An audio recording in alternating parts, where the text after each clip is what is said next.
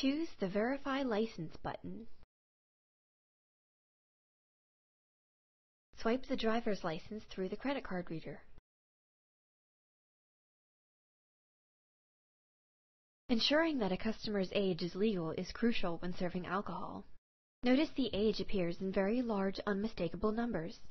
If the license is expired, it shows up in red letters. Future POS eliminates the guesswork of verifying a customer's age and makes it quick and easy to authorize the sale of alcohol.